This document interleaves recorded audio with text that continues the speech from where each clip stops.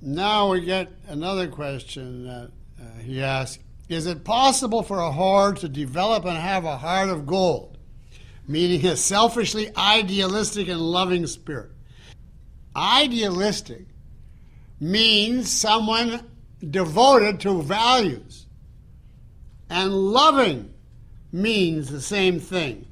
This is a woman who says, to hell with your values, I want the money.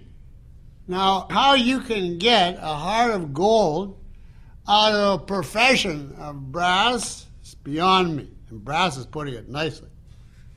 Now, if you are thinking of something like Kira and We the Living, where she slept with Andrei for money because she was desperate, that is a different thing.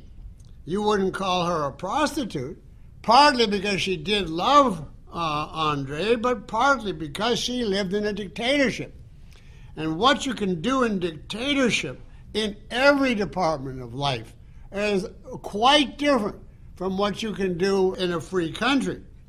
So I'm answering here a prostitute who is so voluntarily in a free country